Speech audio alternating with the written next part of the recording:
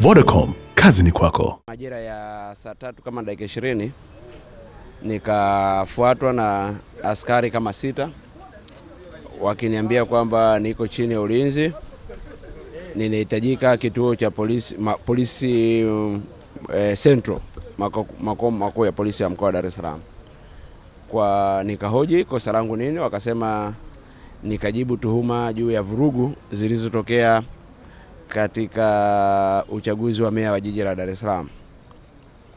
Baada ya hapo tukakubaliana kwamba wao walitaka nipande gari yao, nikawaomba niende na gari yangu kwa sababu sikuwa na driver. Baada ya mabishano marefu kidogo, hatimaye wakakubali, tukaondoka tukaenda polisi, na nilipofika polisi nikamweleza wa viongozi wa jeshi la polisi kwamba mimi nina kesi mahakamani leo na niko nje kwa dhamana, na hata hao askari niliwaeleza, lakini walikataa, wakasema wamepewa amri wanichukue. Then nimeenda polisi na nimerudi hapa baada ya wakili wangu e, Peter Kibatala na Fred Kikwelo kuzungumza na viongozi wa jeshi la polisi. Nimerudi hapa kwa ajili ya kuendelea na kesi yangu ambayo ya jinai nayo dhidi ya Paul Makonda ambao mimi ni mshtakiwa.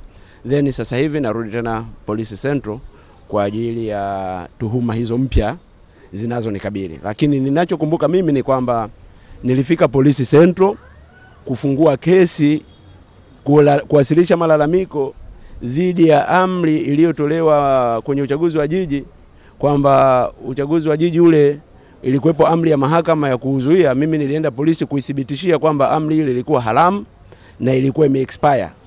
Kwa hiyo ni lazima wachukue hatua za kisheria dhidi ya wahusika na uh, SSP, SP Ndarama ambaye ni mkuu wa upelelezi wa kipolisi mkoa wa Ilala alinieleza kwamba alinipa orodha ya watu wanaotakiwa, mimi jina langu halikuwemo.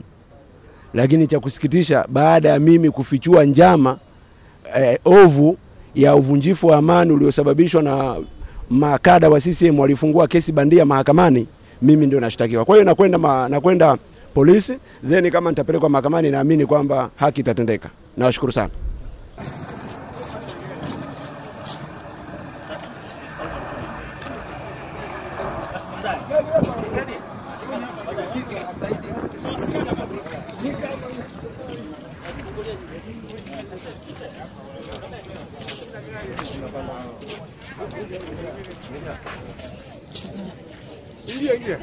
Anasema vijana napanda